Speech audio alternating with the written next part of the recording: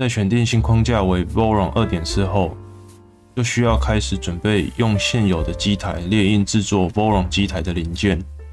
这时就需要将材料改成 ABS。嗨，欢迎来到 Slow，我是 David。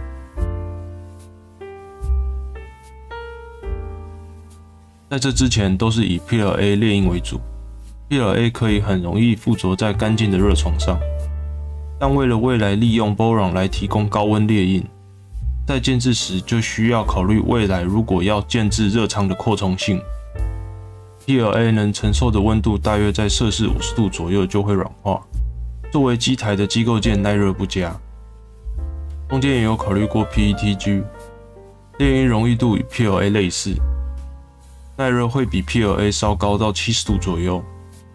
在实际看过 Boron 社群的建议后，最后还是决定列印温度在摄氏九十度左右才会软化的 ABS 当做机构件。ABS 列印时会有严重的异味与大量粉尘，请在通风的环境下列印。另外，如果没有隔离舱或热舱的情况下，封件本身容易翘曲收缩，导致尺寸无法符合需求。使用隔离舱避免翘曲的情况，透过 Cura 中的水平缩放进行调整尺寸收缩的问题。接下来需要改善的就是附着问题。原来使用镜子当做裂印面来确保底面的平整，但使用 ABS 时无法有效附着，所以开始考量使用当今大多数机台在使用的 PEI 弹性钢板。入手一片钢板后，才发现钢板的品质与下方磁铁的品质也非常重要。第一次买的磁铁板，因为胶面是使用棉纸的。所以在粘贴后，如果需要调整，棉质基底会撕裂，直接粘着在铝质的热床上，导致磁铁整片报销。后来改使用有耐温的胶材，在需要高温热床的 ABS 上会比较适用。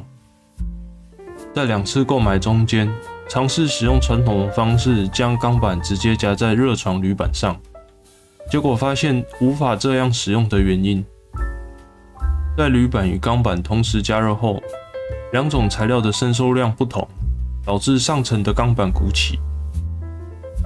在摄氏一百一十度左右下，钢板中央部分会反复鼓起与下陷，因此钢板无法与原来的镜子使用相同的固定方式。磁铁对弹性钢板来说还是必要的。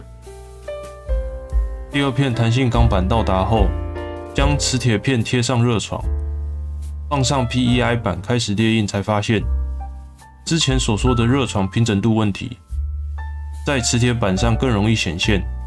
覆盖在热床上的磁铁与钢板会配合热床变形，此变化使原来的双向线性差值的自动调频无法正确补正，所以又将韧体重置改为统一自动调频模式，透过 BIL Touch 密集测量全部平面的高度。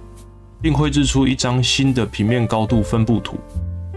在 ABS 附着方面，PEI 确实有效达到功能，可以将 ABS 材料强力附着在 PEI 板上，仅到需要完全降温或是拿起 PEI 板折弯，才可以拿起弓箭。拿起 PEI 板的话，UBL 的校正则需要全部重新测量，在这方面上，要等到每次冷却完全，确实是痛点。本频道目前着重分享 FDN 3D 列印机相关知识与技术交流，有不同看法，欢迎在下方留言交流。我们下次见。